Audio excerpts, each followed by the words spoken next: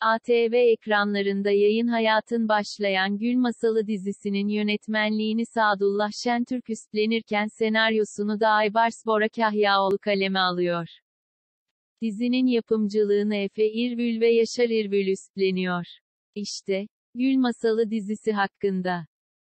Gül Masalı konusu, Gül Masalı, Annesinin ölümüyle kendisine kalan miras sayesinde geçmişin gizemli sırlarıyla karşılaşan Gonca'nın ve Isparta'nın önde gelen ailelerinden Atabey ailesinin oğlu Toprağın hikayesini konu alıyor.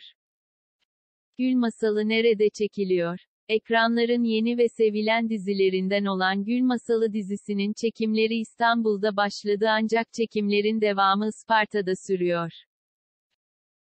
Gül Masalı oyuncuları Erdem Kaynarca Toprak Atabey, Gülper Özdemir Gonca Aydın.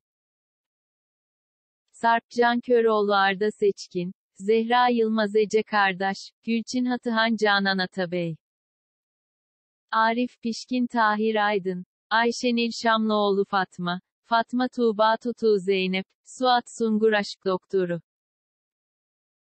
Sait Genay, Yağmur Başkurt Nurbanu, Serdem Paçalarzu, Mehmet Şeker Ali Tüfek, Bülent Düzgünoğlu Halil Atabey.